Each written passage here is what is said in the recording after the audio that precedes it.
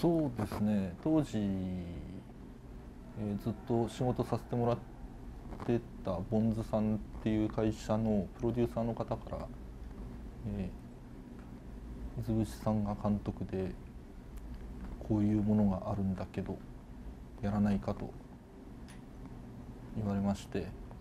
えー、とまあほぼ、まあ、初めてのキャラクターデザインなんですけど、まあ、やってみたかったのもあって一発で「はい」と言いましたね。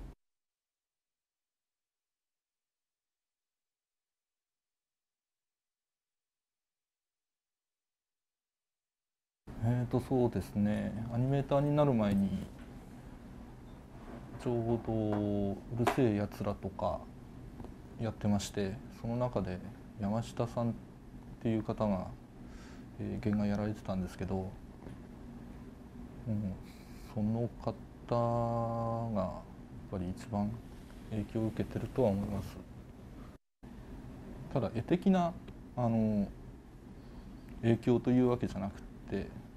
えー、あのアニメーターとしての姿勢の影響っていうんですかねそちらの方で、えー、影響を受けたと思います。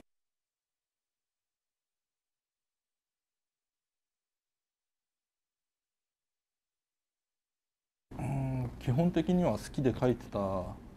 だけでここまで来たっていう感じはあるんですけどそうですねやっぱいつでも上手くなろう上手くなろうと思って人のいいところをこう吸収しようっていう姿勢があったから多分上手くなったんだと思うんです。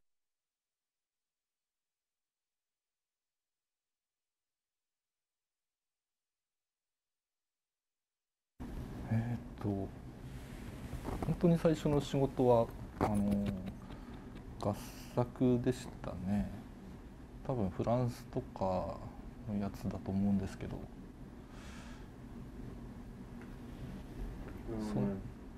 そその後に その後にあのアメリカとかの合作も、えー、やりましたけどウォリアーズとか知ってますかね？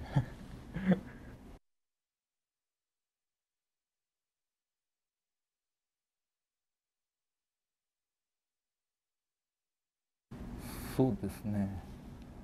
えー、初めて作家にやった、えー、ガンダム0083っていうのがありましてそこで初めてあのさっき影響されたって言った山下さんとかと仕事することになってその時にも川本さん佐野さん大阪さんが、えー、会う機会がありましてあのそこでかなりこう仕事の姿勢とか、えー、絵的なものもかなり影響されましたね。それが一番転換期ですかね。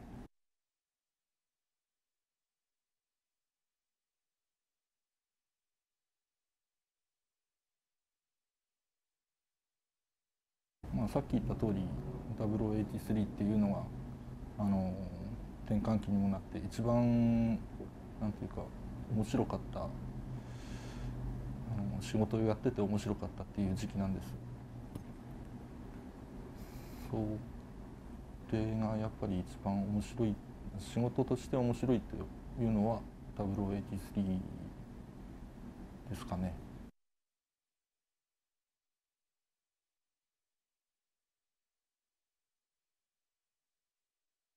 まあ、先ほど申した通り、えー、南さんから、えプロデューサーの南さんから声がかかってで設定の竹場さん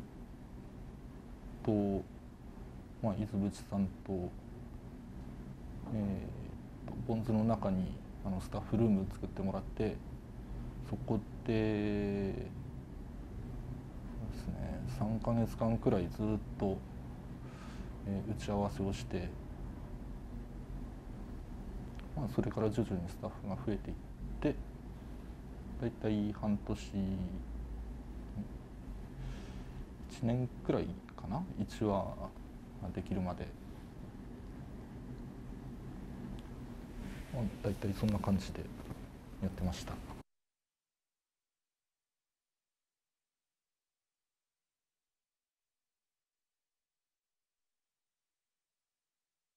ともとキャラクター原案の山田博さんっていう方がいましてその人がまあイラストレーターなんですけど、えー、昔からちょこちょこ好きで見てた人なんで、まあ、なるべくあのラインを崩さないようにそれでまあ自分もできれば、うん、ちょっとずつ出したいなっていう感じで、まあ、基本的にはやってましたね。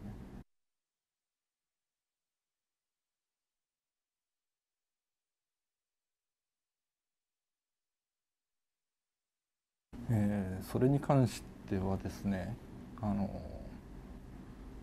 まあ最初のコンセプトはもう伊豆淵さんからもらってたんですけどえっ、ー、と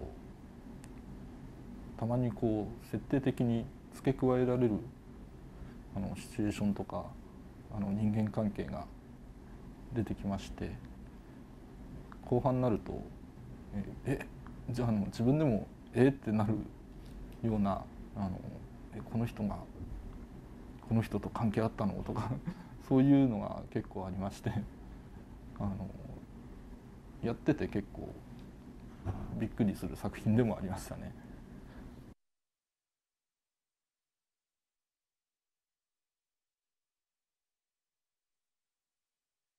えー、っとですねあのはるかとはるかじゃない麗華というキャラクターがいましてあの伊豆淵さんと山田明宏さんとえっ、ー、と佐野佐野さんってメカメカサカンやってらっしゃる佐野博俊さんとまあ僕と全然意見が合わなくてあのかなり決まるまで時間かかりましたね。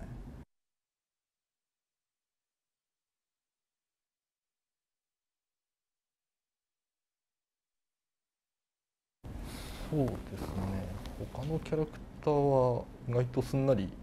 決まってるんですよね 全般的に。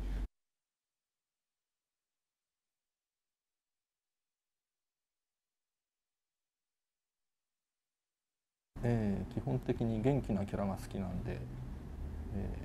ー、めぐみというキャラクターがいるんですけど、まあ、元気な女の子でいいなと思ってます。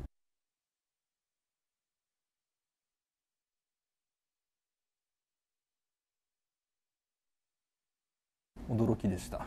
あのまさか僕がこんなに 出てくるとは思いませんでした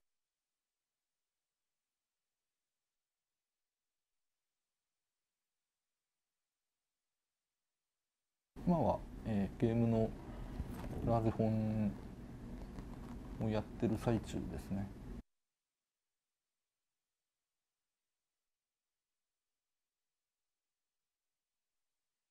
個人的には何本か持ってるんですけどまあ作れるかどうかは、まあ、未知なものなので。